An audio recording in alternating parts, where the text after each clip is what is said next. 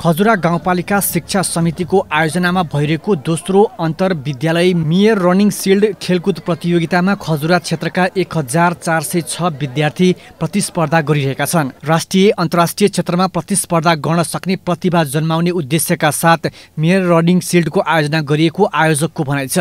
विद्यालयहरू र सबै विद्यार्थीहरूले आफ्नो प्रतिभा देखाउन खोज्दा त्यसले गर्ने चाहिँ सामाजिक रूपमा र संरचनागत रूपमा गर्ने खाइ विकासले यसलाई के देखिन्छ भने शिक्षामा समानता र त्यो खालको अनुभूति दिलाउने गर्दछ।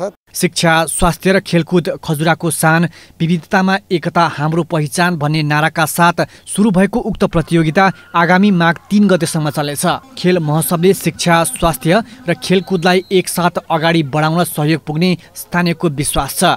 शिक्षा स्वास्थ्य र खेलकुदलाई सँगै जोडेर अगाडि बढ्नको निम्ति अहम भूमिका खेल्नेछ भन्ने हामीलाई विश्वास लागेको छ र हामीले यो कार्यक्रमलाई अझ हरेक वर्ष हामी सिकाइकै दौरानमा छौँ। यसलाई सिक्दै प्रतियोगितामा athletics volleyball kabaddi martial art long jump relay दौड समावेश छन्। प्रतियोगिताका विजयी खेलाडीलाई नगदसहित प्रमाणपत्र र ट्रफी प्रदान गरिनेछ।